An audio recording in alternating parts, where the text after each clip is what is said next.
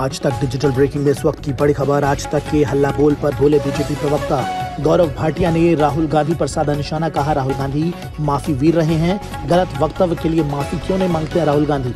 आधुनिक युग के मीर जाफ़र हैं राहुल गांधी। ये तमाम बड़े बयान हैं जो राहुल गांधी को लेकर गौरव भाटिया ने दिए हैं। आज तक के हल्ला बोल पर उन्होंने क्या कहा, आप खुद सुनिए राहुल गांधी माफ़ी वीर रहे हैं।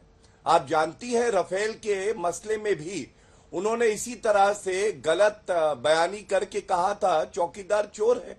बाद में क्या हुआ? सर्वोच्च न्यायालय में माफ़ी मांगी। तो आज ये क्यों नहीं पूछा जाएगा कि आप माफ़ी क्यों नहीं मानते हैं अपने गलत वक्तव्यों के लिए? और मैं एक बात और कहूँगा, यहाँ अमी बेन जी बैठी हैं।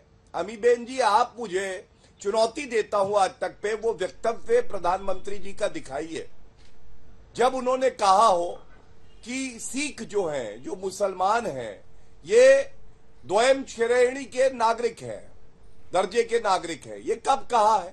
ये अब राहुल गांधी ने कहा है।